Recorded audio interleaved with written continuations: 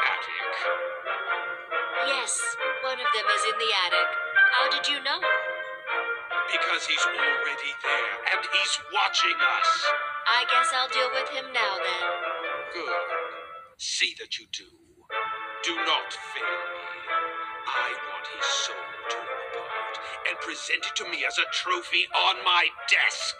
Thank you, dear Malik. Leave everything to me. Go and greet our guests.